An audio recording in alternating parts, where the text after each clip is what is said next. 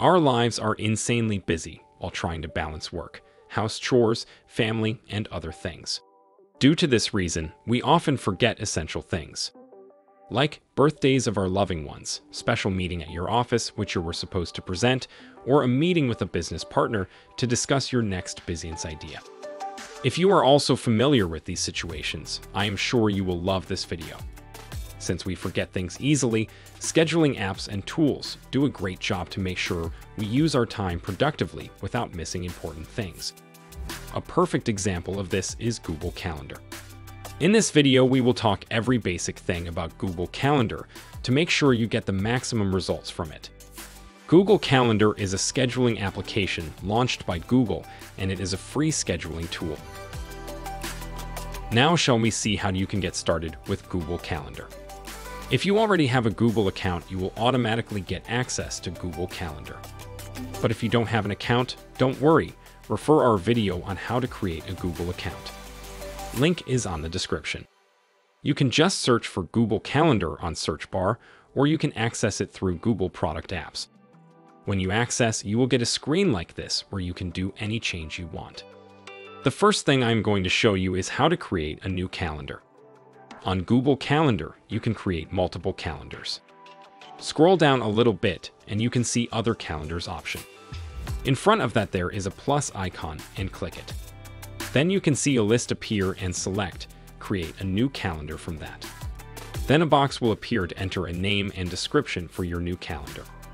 Enter a specific name so that you will not mix up calendars. I'm going to enter as DigiFix meetings and the description will be Daily Team Catch Up. You can enter a specific description to inform others about your calendar. Then select the time zone. There is a list of time zones and select what relevant to you from the list.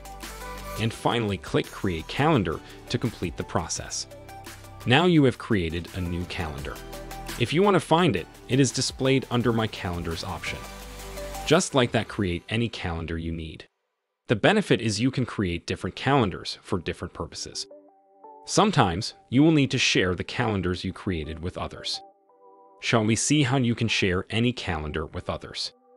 For that, click the three dot in front of the calendar you want to share and select Setting and Sharing option. Then you will bring to a box and here also if you need, you can edit calendar details. Now it's the time to select Access Permissions. If you click Make Available to Public, your calendar will be seen by anyone. I am pretty sure that you don't want that to happen. So, the best option is to share with specific people. For example, you can share a calendar with your team members. To do this, you can enter the Gmail of the person you want to add. Now let's see different types of access permissions when you share a calendar. When you share your calendars with others, you can select Access Permission.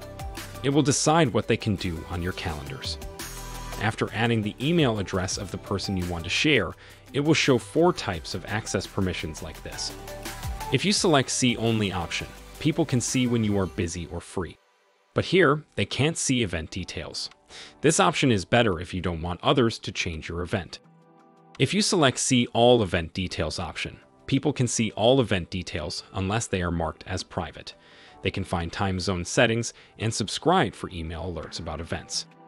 If you select Make Changes to Events option, people can see all event details, including those marked as private, add events, edit or delete events, find time zone settings, and subscribe for email alerts of the events you create. If you select Make Changes and Manage Sharing option, people can see all event details, add events, edit events, or delete events. They even can delete an event permanently. Make sure you select the right access permission when you share your calendars with other. Otherwise, anyone will be able to make changes and ruin the details. So, select the best option among See Only, See All events, make changes to events, and make changes and manage sharing. So, that is about another cool feature you will get from Google Calendar. If you create a calendar for your business purposes, this will be a great collaborative tool. Then I am going to show you another cool feature. On Google Calendar, you can create events. Shall we see the process? There are two ways to create events on Google Calendar. First way is directly creating an event with a date cell. First, open your Google Calendar. As you see, there are date cells that shows the dates and times as well. Select the date cell that you want to do your event. This event can be a meeting, session, seminar, or anything. As you can see, there are dates and times clearly showing. You can try the process along with me. Click the date cell you want. Then a box will appear with event information. In there, there are three options such as create events, tasks, or reminders. Since we are going to create an event now, make sure to select event. Now you can add a title for your event. I'm going to add Google Calendar video session as my title. Make sure to add a title that you can remember and relevant. And next, you can enter the specific date and time of your event tag. Click the date and time bar, and you can edit whatever you want. And you can add guests to the event. Add a description to your event. And add a location of your event. Finally, click Save to create your event. Now you can see the event you created on your calendar. That is one method you can create an event on Google Calendar. I mentioned you previously that we can do this in two methods. Another method to create an event is by using the Create button on the upper left-hand side. Click the Create button and you will see an option to create an event. Click it. And like we did before, you can add event title, description, and everything. In Google Calendar, you can attach documents and materials that are relevant to a meeting. This feature makes sure the meeting attendees have the necessary materials before the meeting begins. First, click the event on your calendar. Then a box will appear with the event details. You can see a pencil icon in this box and click it. Then another big box appear with event details. Below, you can see a paperclip icon. Click it and a window will appear to upload files from your Google Drive. Here you can select the necessary files and click Insert.